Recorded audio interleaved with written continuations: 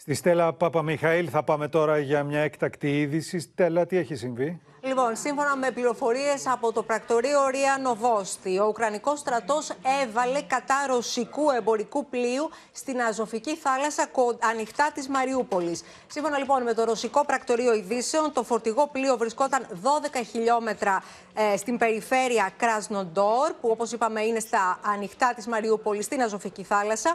Πληροφορίες τώρα, σύμφωνα με το ίδιο πρακτορείο, αναφέρουν ότι το πλοίο είχε ξεκινήσει από ελληνικό λιμάνι κοντά στα ψαχνά, χωρίς να δίδονται όμως περισσότερες διευκρινήσεις γι' αυτό και είχε προορισμό το λιμάνι Ταγκορόγκ κοντά στο Ροστόφ.